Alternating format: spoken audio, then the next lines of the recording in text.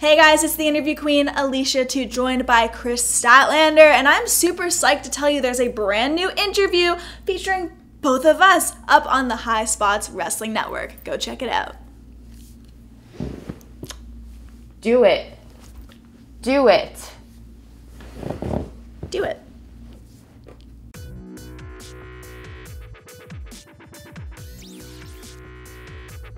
Uh-oh. And Statlander has gone into overdrive.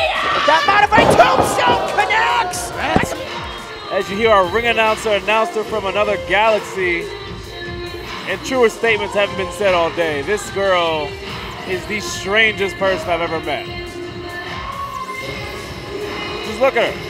It was a bag full of Big Macs from oh McDonald's. Oh my God, what a low bar. At the end of the day, if Tasha Steelz can get a win, great, good for her. But what Everyone. Just give me everybody. Just give everyone. Just give me everybody. I want a singles match with every single girl there because I'm sorry I can't remember everyone's names. Um, yeah, just just give me everybody because I, I just like to wrestle and I just want to have fun matches with creative people. Yeah.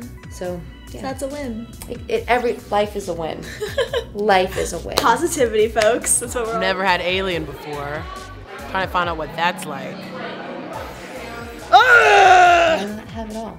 You know, like I don't. It doesn't matter to me if I'm just a good wrestler. I don't want to be just a good wrestler. I want to be someone that offers more. and stands out. Exactly, And like I yeah. said, she really like I'm not saying that to just like flatter you because the camera's rolling. Like you, you really did stand out to me Oh. because a lot of the time you do see people wrestling, and it's not that they look basic or anything, but yeah, it's a they don't stand out from others. It's a different level. It's a, it's sometimes people refuse to take things to another level or refuse to be creative and like get outside their comfort zone. And I feel like I I know a lot of people if you watch their matches they'll have a lot of like the same matches like they'll do similar.